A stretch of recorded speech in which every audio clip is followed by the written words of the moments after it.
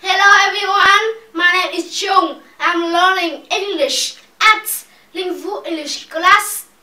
Right now, I'm so happy and I like learning English at Linh Vũ English class very much. But before learning English at Linh Vũ English class, I was scared of English. I didn't like English now I think my English is much better. I love English and I love my class very much. Welcome everyone to Live